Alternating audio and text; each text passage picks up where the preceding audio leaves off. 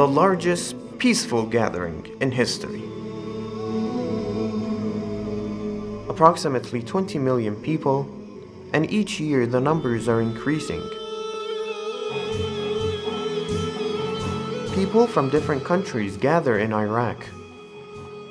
Over 310 miles from the city of Basra, more than 50 miles from the holy city of Najaf, they set off for walking to one of the greatest of destinations. Here, you will see the most incredible scenes of dedication. Remarkably, during the journey, nobody buys anything, nor does anybody sell anything. Everything here is free food, places to sleep, health services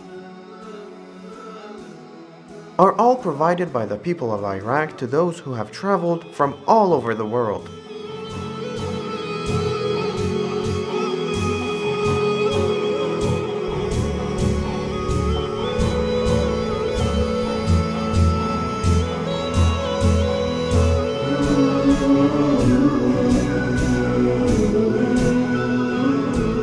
You may be wondering why they have gathered here.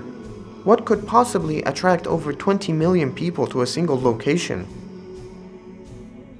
In fact, people travel to Karbala every year on Arba'een for a single purpose.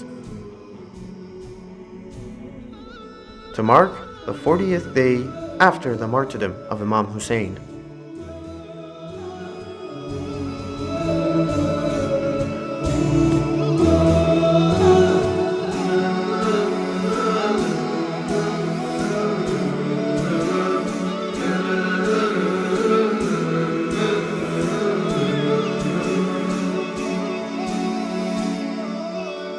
You know Hussein?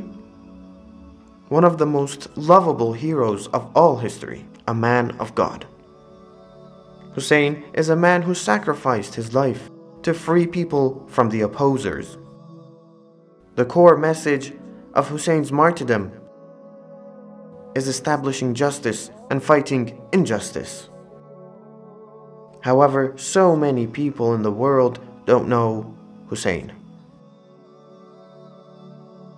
If you want to participate in the largest walk in the world and take part in this great event, join us this year and come to Karbala.